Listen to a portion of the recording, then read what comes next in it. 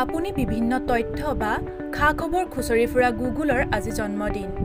ঊনৈছশ আঠানব্বৈ চনৰ চাৰি ছেপ্টেম্বৰত আমেৰিকাৰ ষ্টেনফৰ্ড ইউনিভাৰ্চিটিৰ গৱেষক ছাত্ৰ লাৰী প্ৰেছ আৰু চাৰ্গে ব্ৰিনে প্ৰতিষ্ঠা কৰিছিল গুগল।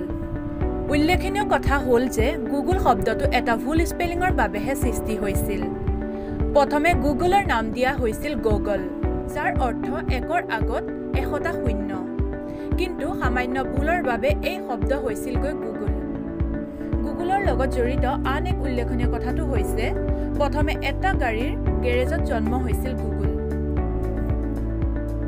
নিউজ ডেস্ক ৰিপৰ্ট ৰিচ টাইম।